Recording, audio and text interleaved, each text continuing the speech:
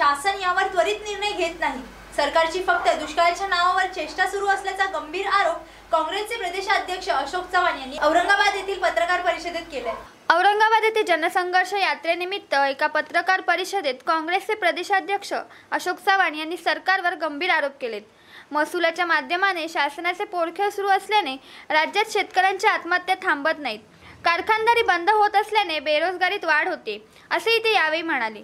सामान्यांच्या समस्या आम्ही जाणून घेतल्या. जनतेच्या अधिकारासाठी व हक्कासाठी आम्ही लढा सुरू केलाय.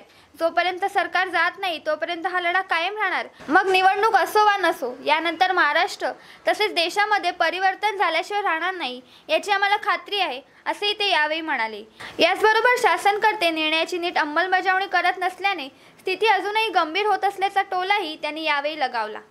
हे विद्यमान भाजप सरकार सेना सरकार हे निश्चितच जो असंतोष लोकांमध्ये आज भडकलेला आहे. तो भडकलेला असंतोषच या युतीच्या सरकारला हरवण्यास पुष्कळचा आहे असं आमचं मत या निमित्ताने मला स्पष्ट केलं पाहिजे. या जनसंघर्ष यात्रेला उत्तम प्रतिसाद मिळाला.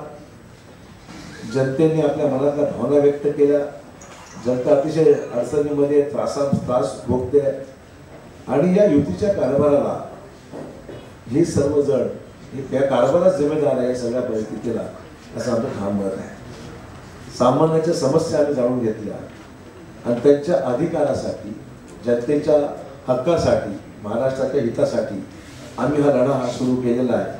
आणि जोपर्यंत सरकार जात नाही तोपर्यंत आमचा लढा कायम राहणार आहे. पोलीस भरतीच्या तयारीसाठी सकाळी रनिंग करणाऱ्या चार तरुणांना कारने उडवल्याची घटना परभणी येथे घडली आहे.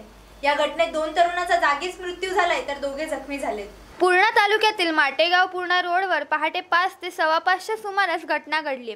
अपघातात सोनू साबळे व गोविंदा साबळे या दोन्ही तरुणांचा जागीच मृत्यू झालाय तर जखमी झालेले विकास साबळे व कुणाल साबळे या दोघांना जवळच्या रुग्णालयात उपचाराकरता दाखल करण्यात आले. तसेच या प्रकरणी पूर्णा पोलिसांनी पंचनामा करून गुन्हा दाखल केला आहे. प्रतिनिधी रोहिणी हुलेसह आधार न्यूज मुंबई डेस्क. काँग्रेस पक्षाच्या जनसंघर्ष यात्रेच्या तिसऱ्या टप्प्याची सांगता मराठवाड्यात पार पडली. या यात्रेत काँग्रेस पक्षातर्फे सरकारवर घणाघाती आरोप करण्यात आले. अशोक चव्हाण यांनी सरकारवर निशाणा साधत शासनाने दुष्काळाचा जी आर म्हणजे जनतेची घोर फसवणूक केली. दुष्काळाच्या बाबतीत कोणतीही आर्थिक तरतूद न करता केवळ घोषणा करून जनतेची घोर फसवणूक करण्याचे काम फडणवीस सरकार करीत आहे असे आरोप यावेळी करण्यात आले. तसेच फडणवीस यांना सरकार चालवता येत नसल्याने ते रोज नवा निर्णय घेतात व पुन्हा रद्द करतात. अशा अनेक योजनांमधून जनतेला सरकार फसवत असल्याचा आरोप करत अंबेजोगाईत काँग्रेस पक्षाच्या जनसंघर्ष यात्रेत प्रदेशाध्यक्ष अशोक चव्हाण यांनी करत सरकारवर निशाणा साधला. आपल्याला त्या सगळ्या गोष्टी आत्मसात केल्याशिवाय आज यांच्याकडून त्या अपेक्षा करायची गरज नाहीये. यांना फक्त एकच सवाल करा. यांना फक्त एकच सवाल करा मोदीजींना त्यांच्या सहकार्यांना राफेल का क्या रेट है? राफेल का क्या रेट है? और राम मंदिर का क्या डेट है? राफेल का क्या रेट है? और मंदिर का क्या डेट है? एवढंच विचारा. तर यांना आता फक्त मंदिर आणि मस्जिद. यांना आता फक्त मंदिर आणि मस्जिद दिसून लागलेली आहे. कारण निवडणुका जवळ आल्या. निवडणुका जवळ आल्या आहेत आणि म्हणून मंदिराची आठवण येते आहे. आणि मंदिर आठवण झाली की समजायचं निवडणुका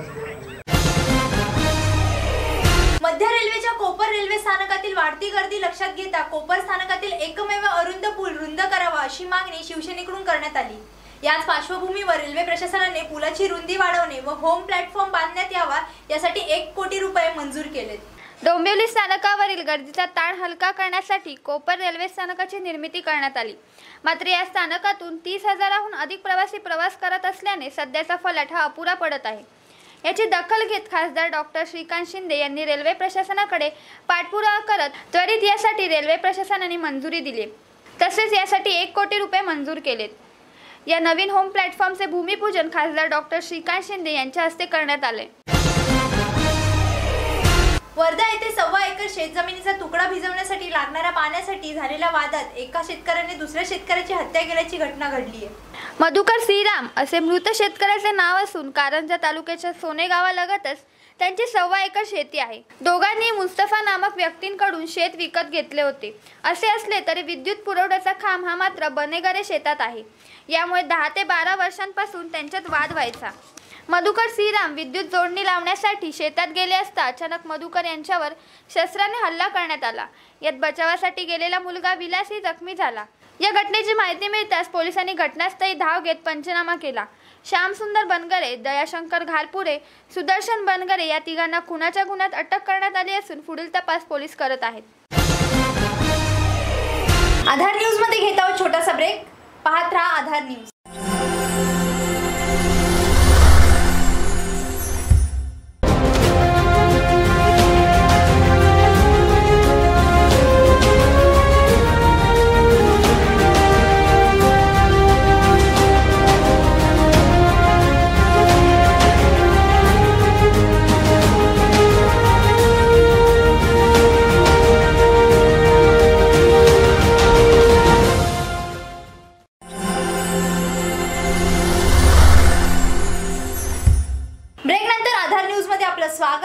पाहूयात पुढील ठळक घडामोडी. भिवंडीमध्ये एका चौदा वर्षीय विद्यार्थ्यांचे अपहरण करून हत्या केल्याची घटना घडली असून या प्रकरणी पोलिसांनी एका आरोपीला ताब्यात घेतले आहे. अपहरण झालेला मुलगा बिलाल शकील कुरेशी वडिलांच्या बीफ दुकानात गेला असता त्याचं अपहरण झालं होतं. अपहरणकर्त्यांनी कुटुंबियांकडे पाच लाखाची खंडणी मागितली. शिवाय पोलिसात तक्रार केली असता मुलगा जिवंत मिळणार नाही अशी धमकी अपहरणकर्त्याने फोनवर दिली होती. मात्र कुटुंबियांनी भोईवाडा पोलीस ठाण्यात मुलगा बेपत्ता झाल्याची तक्रार दाखल केली. मात्र आज त्याचा मृतदेह मुंबई नाशिक हायवेलगतच्या ओवली गावाच्या हद्दीत पाईपलाईनच्या अडगळीत सापडला. याची माहिती मिळताच पोलिसांनी घटनास्थळी धाव घेत एका आरोपीला ताब्यात घेतलं आहे. भाजप सरकार म्हणजे थापांचा पाऊस. मोदी सरकारला शिकवण्याची वेळ आली आहे असं वक्तव्य करत शिवसेना प्रमुख उद्धव ठाकरे यांनी महाड येथील शिवसेना मेळाव्यात सरकारवर टीकेची झोड उठवली आहे. महाड येथील रावसाहेब भिलारे मैदान परिसरात आयोजित करण्यात आलेल्या शिवसेना मेळाव्यात उद्धव ठाकरे यांनी सरकार म्हणजे थापांचा पाऊस पाडणारं सरकार. महागाईचा भडका दिवसेंदिवस वाढवत आहे. महागाई रोखण्यात अपयशी ठरलेले सरकार गोरगरीब जनतेला फसवणाऱ्या या मोदी सरकारला आता धडा शिकवण्याची वेळ आली. तसेच येणाऱ्या आगामी काळात शिवसेना स्वबळावर निवडणूक लढवून भगवा फडकवण्याचा निर्धार त्यांनी केला. प्रतिनिधी राजेंद्र मांजरेकर योगेश कासारेसह आधार न्यूज मुंबई डेस्क. काय करा त्यांची टीम पाठवली त्या महिलेचा शोध घेतला. कुठल्या त्या बाई? त्या छत्तीसगड मधल्या कुठल्या तरी गावाच्या निघाल्या. त्या गावात लोक पाठवले.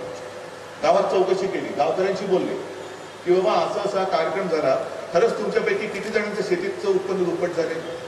एक असं मग त्या महिलेच्या घरी गेले.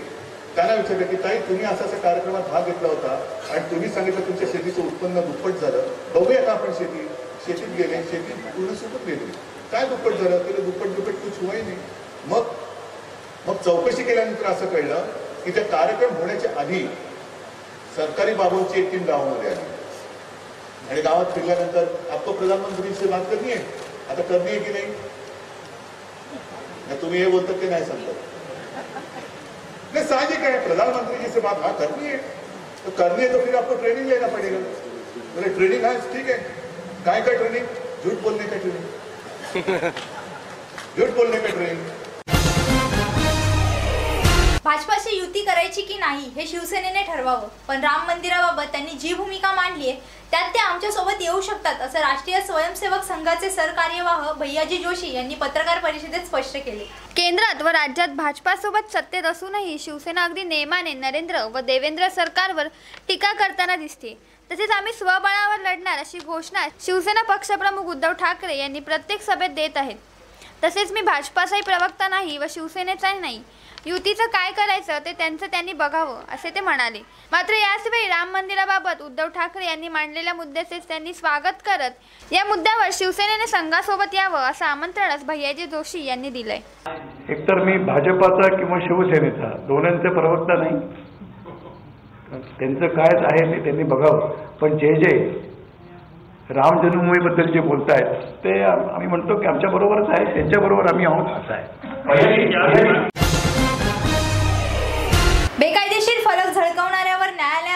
ताशेरे ओढत असते. मात्र याच न्यायालयाच्या संरक्षण भिंतीवर लावलेला फलक सध्या चांगलाच चर्चेत आलाय. यामुळे स्वतःच्या संरक्षण भिंतीवरच्या होल्डिंगची चौकशी करण्याची वेळ मुंबई उच्च न्यायालयावर आली आहे. बेकायदेशीर फलक लावणाऱ्यांवर न्यायालय अनेकदा ताशेरे ओढत असते. याच न्यायालयाच्या संरक्षक भिंतीवर महाराष्ट्र राज्य विधी सेवा प्राधिकरणाने लावलेला फलक चांगलाच चर्चेत आलाय. या फलकावर समाजातल्या दुर्बल घटकांसाठी कायद्याच्या सेवा मिळवण्यासंबंधी सूचना दिल्या आहेत. यामुळे स्वतःच्या संरक्षक भिंतीवरच्या होर्डिंगची चौकशी करण्याची वेळ मुंबई उच्च न्यायालयावर आली. न्यायमूर्ती अभय ओक व न्यायमूर्ती एम एस सोनक यांच्या खंडपीठासमोर या फलकाच्या वैधतेला आव्हान देणारी याचिका सुस्वराज फाउंडेशनतर्फे दाखल करण्यात आली असून यावर सध्या सुनावणी सुरू आहे. रिक्षा चालकांनी स्वतःच्या निर्णयाने दोन रुपये भाडेवाढ करून व त्यांचे फलक डोंबिवली शहरामध्ये लावले असून परिवहन विभागाचे उपप्रादेशिक अधिकारी संजय ससाने यांनी कुठल्याही नियमाचे उल्लंघन केल्यास कायदेशीर कारवाई करण्यात येईल असं बजावले आहे. आर टी ओचे सकाळपासूनच पथक शहरात आल्याने भाडेवाढ घ्यायची की नाही या संभ्रमात रिक्षा चालक होते. यावर जादाचे भाडे घेतले तर दंडात्मक कारवाई होणारच असे आर टी ओ मोटार वाहन निरीक्षक राजेश परदेशी यांनी स्पष्ट केले. प्रवाशांनी जादाचे भाडे न देण्याचे सांगत रिक्षा चालकांनाही नियमांप्रमाणेच वागण्याचे आदेश तसेच आदर्श रिक्षा चालक मालक संघटनेने जे दरवाढीचे फलक लावले होते ते तातडीने काढण्यास सांगितले. यानुसार काढलेले फलक रामनगर पोलिसांकडे जमा करण्यात आले यापुढे जर नियमांचे उल्लंघन करून भाडेवाढ आकारण्यात आली तर कठोर कारवाईचे आदेश उपप्रादेशिक परिवहन अधिकारी संजय ससाणे यांनी दिले होते. प्रतिनिधी Meenakshi बनसोडेसह Aadhaar news Mumbai desk. Police स्थानकाच्या हद्दीत घरफोड्यांचे प्रमाण वाढले असून गुन्ह्यांना आळा घालण्यासाठी परिसरात गस्त घालण्याचे निर्देश वरिष्ठ पोलीस अधिकाऱ्यांनी कळवा पोलिसांना दिलेत. तसेच दोन घरफोड्या करणाऱ्या चोरट्यांनाही पकडण्यात कळवा पोलिसांना यश आले आहे. कळवा मुंबळा परिसरात घरफोडा करणाऱ्या दोन अट्टल चोरटे कळवा पोलीस स्टेशन हद्दीत येणार असल्याची गुप्त माहिती पोलिसांना मिळाली. यानुसार पोलिसांनी सापळा रचून आरोपी शादाब कमर सिद्दीकी व संतोष किसन नाईक या दोघा चोरट्यांना अटक केली आहे. यांनी कळवा व मुंब्रा परिसरात बारा ठिकाणी घरफोडी केल्याची कबुली दिली आहे. त्यांनी दिलेल्या माहितीनुसार पोलिसांनी तब्बल आठ लाख अठ्ठेचाळीस हजार पाचशे रुपयांचा मुद्देमाल त्यांच्याकडून हस्तगत केला आहे अटक करण्यात आलेल्या चोरट्यांवर घरफोडीचे अनेक गुन्हे दाखल करत ही कामगिरी झोन एकचे पोलीस उपायुक्त डॉक्टर डी एस स्वामी यांच्या मार्गदर्शनाखाली कळवा पोलीस ठाण्याचे वरिष्ठ पोलीस निरीक्षक शेखर बांगडे पोलीस निरीक्षक तुकाराम पवळे पोलीस निरीक्षक अशोक उतेकर तसेच पोलीस उपनिरीक्षक एस एच पाटील पोलीस उपनिरीक्षक सय्यद या पथकाने केली आहे. तर या होत्या आजच्या ठळक घडामोडी अधिक बातम्यांसाठी पाहत राहा आधार न्यूज तसंच अधिक माहितीसाठी W W W dot Aadhaar news dot in या संकेतस्थळी अवश्य भेट द्या.